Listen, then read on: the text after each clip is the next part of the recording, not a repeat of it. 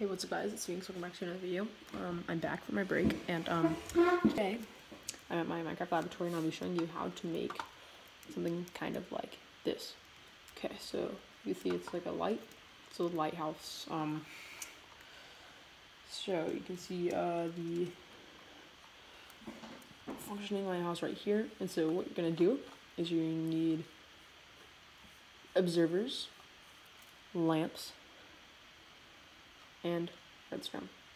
So what you're gonna do, you're gonna place a line of a line of um, observers, and then you're gonna place another line of observers, another line right here, another line, but you have to make sure they're all like facing uh, clockwise, so they're all going the same direction.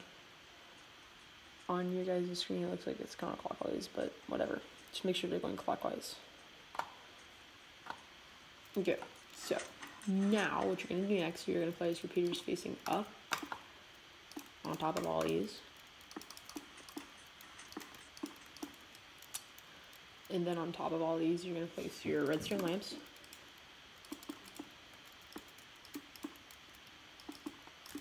And you can do this two blocks high. At least that's all I could do.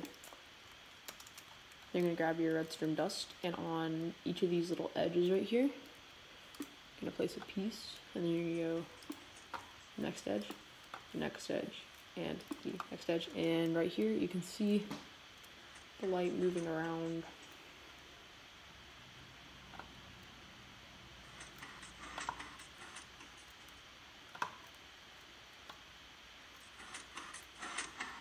So yeah, thanks you guys for watching, and I hope you enjoy.